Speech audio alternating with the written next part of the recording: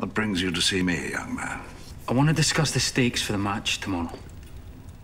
Oh, I might have guessed. A young man's fancy turns to thoughts of love and money. We've always been very generous with you, Tommy. More so than with your father, as a matter of fact. But then you've always been more valuable to us in some ways. My view of my value differs from yours, Captain. You see, Davy and I are the ones playing the match. So we should be the ones collecting on the stakes. That'd be ridiculous. It's time for a new arrangement, sir. An arrangement?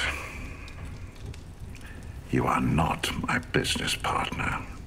You have your role, and we reward you for it, just as we do with your father and the rest.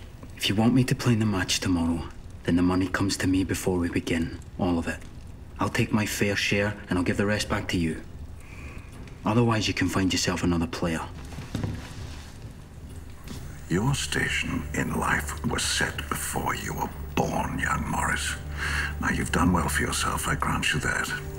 But never think that putting on a gentleman's suit makes you a gentleman. You come to my home with these outrageous demands.